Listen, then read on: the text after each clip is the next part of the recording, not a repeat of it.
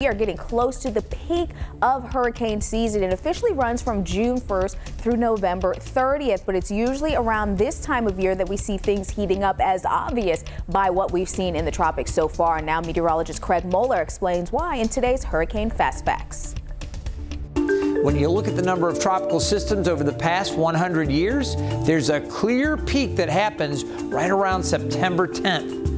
But why then? It turns out two of the most critical ingredients for tropical systems are most abundant around that time. Those ingredients, warm water and little to no wind shear. Now, the hot summer sun warms water temperatures to 80 degrees and above. That provides the warm air and humidity to fuel tropical cyclones.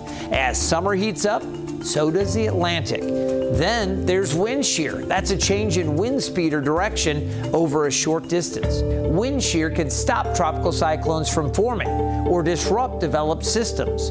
Strong wind shear that is common in the spring fades later in the summer.